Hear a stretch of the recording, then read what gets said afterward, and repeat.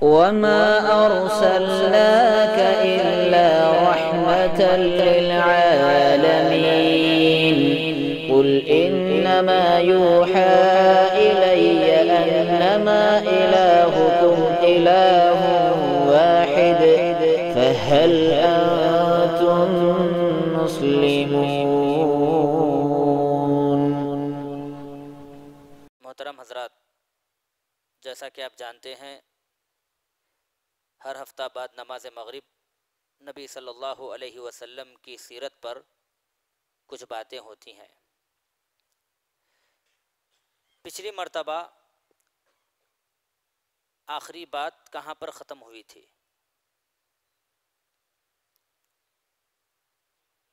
जी?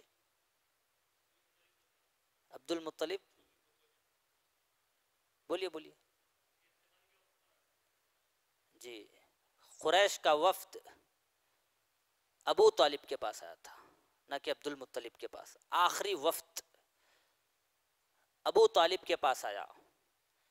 ये सोचकर कि अगर अबू तालिब इंतकाल कर गए, फिर बाद में हम मोहम्मद सल्लल्लाहु अलैहि वसल्लम पर, मोहम्मद पर जुल्म सितम का पहाड़ अज खुद टूट पड़े तो कहीं अरब हमें ये ताना न दें कि देखो, जब तक अबू तालिब सरजमीन हिजाज में मौजूद थे, उनके भतीजे को लोग कुछ नहीं करे।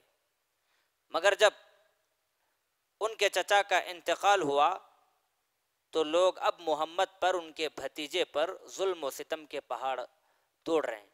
इस तरह के कहीं ताने न दें। ये समझकर आखिरी वक्त अबू तालिब के पास आया। चंद बातें पेश की। जिसको जनाब मोहम्मद रसूलुल्लाह सल्लल्लाहु अलैहि वसल्लम ने कबूल नहीं किया। तो अलगर्ज शेब अबी तालिब से निकलकर, घाटी से निकलकर, जब मुसलमान और गैर मुस्लिम बाहर आए तो अबू तालिब बीमार हो गए। और बीमारी बढ़ती गई। जैसे जैसे मर्ज बढ़ता गया वैसे वैसे कुरैश के लोग भी परेशान होना शुरू हुए। इसीलिए तो आखिरी वक्त अबू तालिब के पास आया। जनाब मोहम्मद रसूलुल्लाह सल्लल्लाहु अलैहि वसल्लम को जब मालूम हुआ कि अबू तालिब तो बिस्तर मर्ग पर हैं, आजकल में उनकी वफात हो सकती है, वफात का वक्त करीब आ सकता है, लिहाजा जनाब मोहम्मद रसूलुल्लाह सल्लल्लाहु अलैहि वसल्लम की खिदमत। आप सल्लल्लाहु अलैहि वसल्लम अबू तालिब की खिदमत में हाजिर हुए। और उस वक़्त कुफार के बड़े बड़े लीडर भी मौजूद थे। सरगना कुफार भी वहाँ पर मौजूद थे। आप सल्लल्लाहु अलैहि वसल्लम दावत तबलीग कर रहे हैं। आखिरी दौर है। बिस्तर मर्ग पर खड़े हैं। नबी सल्लल्लाहु अलैहि वसल्लम कह रहे हैं, या अम्मी, ऐ मेरे चचा, एक मरतबा ला इलाहा इल्लल्लाह कहो। मैं चाहता हूँ कि आप सिर्फ़ एक मरतबा ला इलाहा इल्लल्लाह कहो। मैं इस कलिमे के ज़रिए कल कयामत के दिन हुज्जत पकड़ूँगा कि मेरे चचा ने इस्लाम कबूल किया। पास में जो कुफारे कुरैश मौजूद थे, अबू तालिब को वरगलाते रहे। कहते रहे अबू तालिब, क्या अपने आबा व अजदाद के मिल्लत से फिर जाओगे? अपने आबा व अजदाद के दीन को छोड़ दोगे और मोहम्मद के आखिरी वक्त में दीन को कबूल कर लोगे, इस्लाम को कबूल कर लेगे, कर लोगे, मोहम्मद के पैरोकार हो जाओगे आखिरी वक्त में। फिर जनाब मोहम्मद रसूलुल्लाह सल्लल्लाहु अलैहि वसल्लम अपनी बात को दोहराए, कहा, ऐ मेरे चचा, एक मरतबा ला इलाहा इल्लल्लाह कहो, मैं इस कलमे के ज़रिए कल कयामत के दिन हुज्जत पकड़ूँगा। कुफार कुरैश जो कि वहीं मौजूद थे, फिर उन्होंने भी अपनी बात दोहराई। क्या कहा? कहा कि क्या आखिरी वक्त में अपने आबा व अजदाद के मिल्लत से एराज करके मोहम्मद के दीन को कबूल करोगे? ऐसा तो मुमकिन नहीं हो सकेगा। लिहाजा अबू तालिब अपने आबा व अजदाद के मिल्लत पर ही अपना दम तोड़ दिया और इस्लाम कबूल नहीं किया। आपकी वफात शेब अबी तालिब की महसूरी के ख़ात्मे के छः माह बाद रजब दस नबवी में हुई। एक कौल ये भी है कि उन्होंने खदीजा रज़ी अल्लाह तहा की वफ़ात से सिर्फ़ तीन दिन पहले माह रमज़ान में वफ़ात पाई। तो बहरहाल, जब इनका इंतकाल हुआ, जनाब मोहम्मद रसूलुल्लाह सल्लल्लाहु अलैहि वसल्लम नहायत ही अफसरदा और गमजदा हो गए। क्यों? इसलिए कि वो चचा जो इस्लाम की तबलीग के लिए, इस्लाम की तरवीज के लिए हर मकाम पर, हर वक्त पर जनाब मोहम्मद सल्लल्लाहु अलैहि वसल्लम का साथ दिया करते थे। आज उस चचा का सर से साया उठ गया। और आप सल्लल्लाहु अलैहि वसल्लम इसलिए भी परेशान थे कि जब आखिरी वक्त में आप सल्लल्लाहु अलैहि वसल्लम ने इस्लाम की तबलीग पेश की, कहा कि मेरे चचा, एक मरतबा, ला इलाहा इल्लल्लाह कहो, मैं इस कलमे के ज़रिए कल क़यामत के दिन हुज्जत पकड़ूँगा, मगर आप सल्लल्लाहु अलैहि वसल्लम ने आपकी बात को नहीं माना, बल्कि आपके व आबा, आपके आबा व अजदाद के दिन पर ही अपना दम तोड़ा, इसलिए भी आप सल्लल्लाहु अलैहि वसल्लम को गमगीनी लायक हो गई थी। इसीलिए तो आपने कहा कि जब तक मेरा रब मुझे मना न करे, जब तक मेरा रब मुझे न रोके, मैं उस वक़्त तक आपके हक में दुआएँ मगफिरत करता रहूँगा। और आप सल्लल्लाहु अलैहि वसल्लम लगातार अबू तालिब के लिए दुआएँ मगफिरत करते रहे। अल्लाह रब्बुल आलमीन से इस्तिगफार तलब करते रहे। लेकिन अल्लाह रब्बुल आलमीन ने जनाब मोहम्मद रसूलुल्लाह सल्लल्लाहु अलैहि वसल्लम को ऐन मौके पर उसी हालत में रोक दिया और कहा, मा कान लिन्नबिय्यि वल्लज़ीन आमनु अन यस्तगफिरू लिलमुशरिकीन वलौ कानु उली कुर्बा मिन बअद मा तबय्यन लहुम अन्नहुम अस्हाबुल जहीम। अल्लाहु अकबर। देखिए, अल्लाह रब्बुल आलमीन ने वाजे कर दिया कि नबियों के लिए और मोमिनीन के लिए यह जायज़ है ही नहीं। अन यस्तगफिरू लिलमुशरिकीन, मुशरिकीन के लिए वो मगफिरत तलब करें। वलो कानू उली कुर्बा गर्चे के वो मुशरिक। करीबी ही क्यों ना हो, रिश्तेदार ही क्यों ना हो, अजीजो व अकारिब ही क्यों ना हो? अगर मुशरिक है, मर जाए तो उनके लिए इस्तगफार जायज़ नहीं है, उनके लिए मगफिरत तलब करना जायज़ नहीं है। मिम्बादिमा तबय्यन लहुम अन्नहुम अस्हाबुल जहीम, ये बात की भी वजाहत हो गई है कि ये लोग जहन्नमी हैं। अल्लाह आपको रोका गया आपकी चचा के मगफिरत के लिए। आपको रोका गया। कहा गया, नबी के लिए जायज़ नहीं है कि वो अपने ऐजा वकारिब के लिए जो मुशरकिन होकर मर गए हैं, उनके लिए दुआ मगफिरत करें। शिरक पर मरने का सबसे बड़ा नुकसान और खसारा यही है कि आदमी जब मर जाता है तो उसके ऐजा वकारिब के लिए भी मगफिरत के दरवाजे बंद हैं। अब वो मगफिरत की दुआ नहीं कर सकता अपने आयजा वकारिब के लिए। सबसे बड़ा खसारा है। यानी एक मुशरक अबदी तौर पर, दायमी तौर पर, हमेशगी तौर पर जहन्नम में चला जाएगा और उसके लिए दुआ मगफिरत नहीं की जाएगी। और ये भी आयत नाजिल हुई इन कला तहदी मन यानी आप सल्लल्लाहु अलैहि वसल्लम लगातार करें कि एक मरतबा ला इलाहा इल्लल्लाह कहो, मेरे चचा मैं इस कलमे के ज़रिए कल क़यामत के दिन हुज्जत पकड़ूँगा। तब अल्लाह रब्बुल आलमीन ने ये आयत नाजिल फरमाई, इन्नका ला तहदी मन अहबब्ता, वलाकिन अल्लाह यहदी मन यशा। ए मोहम्मदुर रसूलुल्लाह सल्लल्लाहु अलैहि वसल्लम, आप जिसे चाहें हिदायत नहीं दे सकते। हिदायत देना तो ये अल्लाह ताला का काम है। आपका काम सिर्फ़ तबलीग करना है, इस्लाम की दावत को पहुंचाना है और जिसको हिदायत देना, किसको गुमराह करना, ये अल्लाह रब्बुल आलमीन की मंशा है, अल्लाह रब्बुल आलमीन के हाथ में है। इन कला तहदी मन अहबता आप हिदायत देने वाले नहीं, आपका काम सिर्फ़ तबलीग करना है, इस्लाम की दावत को पहुंचाना है।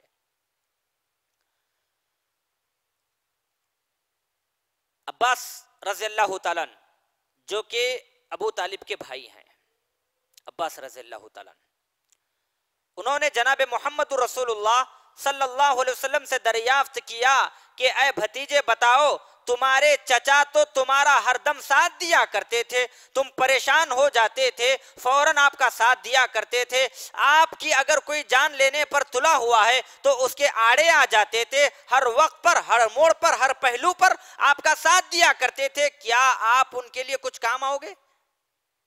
किसका सवाल है ये? भाई का भाई के ताल्लुक से है। चचा का सवाल है चचा के ताल्लुक से। क्या अबू तालिब के कुछ काम आओगे? तो आप सल्लल्लाहु अलैहि वसल्लम ने फरमाया, वो जहन्नम के एक कम गहरी जगह में है और अगर मैं ना होता तो वो जहन्नम के सबसे गहरे खड्डे में होते।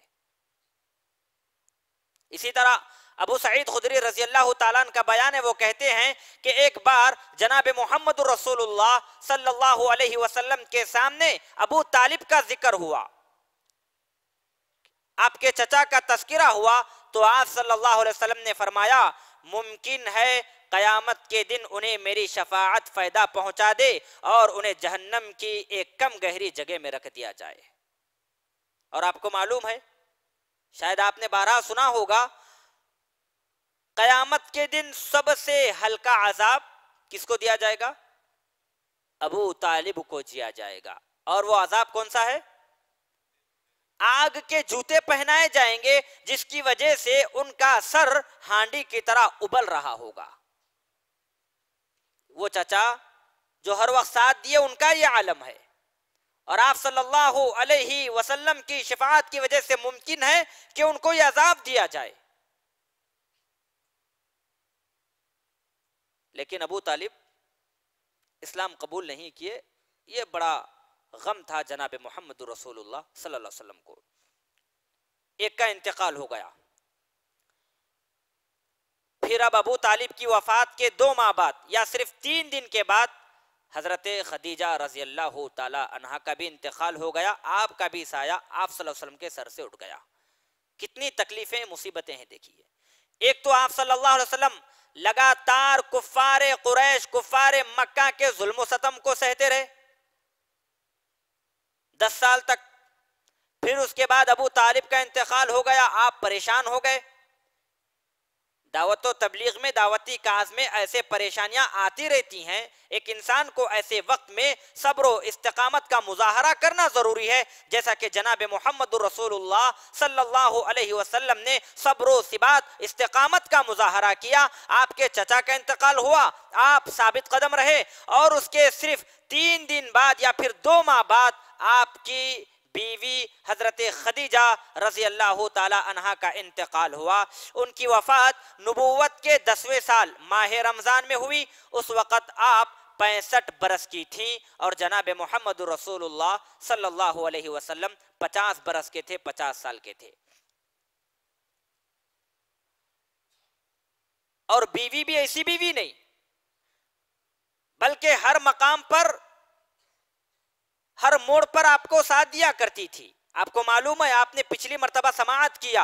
आप सल्लल्लाहु अलैहि वसल्लम पर जैसे ही वही नाजिल हुई, आप परेशान हो गए। परेशान होकर घर आकर बैठ गए। कहा, जम्मिलूनी जम्मिलूनी, मुझ पर चादर उड़ाओ, मैं परेशान हो रहा हूँ। उस वक़्त सबसे ज़्यादा जनाब मोहम्मद रसूलुल्लाह सल्लल्लाहु अलैहि वसल्लम की जिसने हिम्मत बांधी थी, वो हज़रत खदीजा रसी अल्लाह थी। कहा कि आपको अल्लाह ताला हरगिज ज़ाय नहीं करेगा।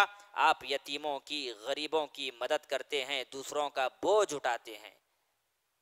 और यतीमों के सर पर आप शफकत का हाथ रखते हैं, दस्त रखते हैं। अल्लाह की कसम, अल्लाह ताला आपको हरगिज ज़ाय नहीं करेगा। ऐसी बीवी का साया आपके सर से उठ गया। रसूलुल्लाह सल्लल्लाहु अलैहि वसल्लम का इरशाद है, जिस वक़्त लोगों ने मुझे झुटलाया उस वक़्त हज़रत खदीजा रज़ी अल्लाह तहा ने मेरी तस्दीक की, जिस वक़्त लोगों ने मेरे साथ कुफ्र किया, उस वक़्त हज़रत खदीजा रज़ी अल्लाह तहा ने मुझ पर ईमान लाई।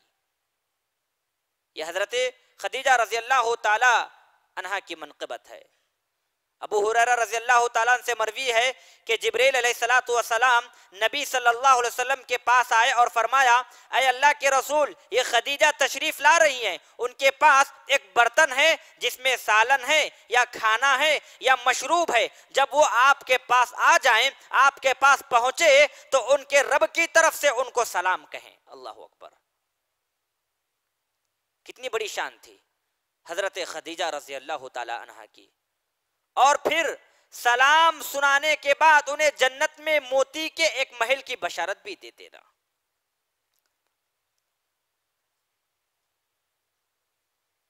दो गम जनाब मोहम्मद रसूलुल्लाह सल्लल्लाहु अलैहि वसल्लम को सहना पड़ा। एक, अबू तालिब की वफात और दूसरी चीज़, हज़रत खदीजा रज़ी अल्लाह तहा की वफ़ात। इबन इसहाक का बयान है कि जब अबू तालिब इंतकाल कर गए तो कुरैश ने रसूलुल्लाह सल्लल्लाहु को ऐसी तकलीफ़ें दी, कभी इस तकलीफ़ की आरज़ू भी नहीं की जाती थी जब आप सल्लल्लाहु अलैहि वसल्लम के चचा मौजूद थे। गम पे गम। एक तो गम अबू तालिब और हज़रत खदीजा का इंतकाल, दूसरा गम जनाब मोहम्मद सल्लल्लाहु अलैहि वसल्लम को इन दोनों के इंतकाल के बाद और ज़्यादा जुल्म सितम को सहना पड़ा। न सिर्फ़ जनाब मोहम्मद अलैहि वसल्लम पर जुल्म किया जाने लगा, बल्कि आपके असहाब, जिन्हें साहबा कराम के नाम से जाना जाता है, उन पर भी जुल्म तशद बरता गया। और बहुत ही खतरनाक तशद बरता गया। जनाब मोहम्मद सल्लल्लाहु अलैहि वसल्लम के ताल्लुक से आता है कि जब आपके चचा इंतकाल कर गए तो कुरैश के किसी एक अहमक ने सामने आया और जनाब मोहम्मद रसूलुल्लाह सल्लल्लाहु अलैहि वसल्लम के सर पर मिट्टी पले दिया, मिट्टी डाल दिया। आप सल्लल्लाहु अलैहि वसल्लम उसी हालत में घर गए। तो आपकी किसी एक साहेबजादी रोती रही रोती रही और आपके सर से, चेहरे से मिट्टी को साफ़ करती रही। जनाब मोहम्मद रसूलुल्लाह सल्लल्लाहु अलैहि वसल्लम अपनी साहिबजादी से कहते कि बेटी, ना रो। अल्लाह ताला तुम्हारे बाबा को जाय नहीं करेगा। अल्लाह रब्बुल आलमीन तुम्हारे बाबा को कभी जाय नहीं करेगा। आप वसल्लम हिम्मत बांधते अपनी साहिबजादी की। ये गम आप सल्लल्लाहु अलैहि वसल्लम के चचा और हज़रत खदीजा रज़ी अल्लाह तहा के चले जाने के बाद इंतकाल के बाद ये गम टूट पड़े। फिर उसके बाद आप सल्लल्लाहु अलैहि वसल्लम ने शादी की। आपसे एक सवाल है, हज़रत खदीजा रज़ी अल्लाह तहा की शादी के बाद उनके इंतकाल के बाद आप सल्लल्लाहु अलैहि वसल्लम ने किससे शादी की? माशाल्लाह। ज़ादकल्लाहु फ़ी इल्मिक व हिरसिक व अमलिक व इल्मिक। सौदा बिनते जमा रज़ी अल्लाह ताला अनहा से आपने शादी की। शवाल दस नबूवत में रसूलुल्लाह सल्लल्लाहु अलैहि वसल्लम ने हज़रत सौदा बिनते जमा से शादी की। ये इब्तदाई दौर में मुसलमान हुई थी और दूसरी हिजरत हबशा के मौके पर हिजरत भी की थी। उनके शोहर का नाम सुकरान बिन अमर था। वो भी कदीम इस्लाम थे।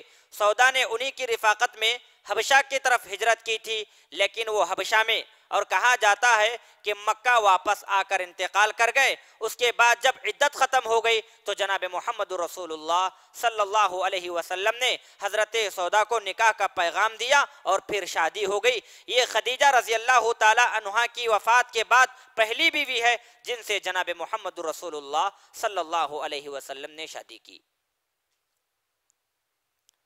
तो मोहतरम हजरात, नबी सल्लल्लाहु अलैहि वसल्लम के सीरत के गोशे कुछ पहलू के वाक़ात थे, जिसको हमने आपके सामने बयान किया। इन फिर इसका सिलसिला आइंदा हफ़्ते से जारी रहेगा। आप तमाम हजरात से गुजारिश है कि आप हर हफ़्ता नमाज़ मगरिब के वक्त आप आते आते हुए अपने अज़ा अकारीब, रिश्तेदार, दोस्त, अहबाब को भी साथ में लाएँ, ताकि सीरतुलनबी सल्लल्लाहु अलैहि वसल्लम को समात कर सकें, खुद फ़ायदा उठा सकें और दूसरे आपके साथ आने वाले लोग भी फ़ायदा उठा सकें। अल्लाह रब्बुल आलमीन से दुआ है कि अल्लाह ताला हम तमाम को जनाब मोहम्मद रसोल्ला अलैहि वसल्लम की सीरत के मुताबिक अमल पैरा होने की तोफ़ी अता फ़रमा। आमीन वाखिर दावाना अनिल हम्दुलिल्लाह रब्बिल आलमीन।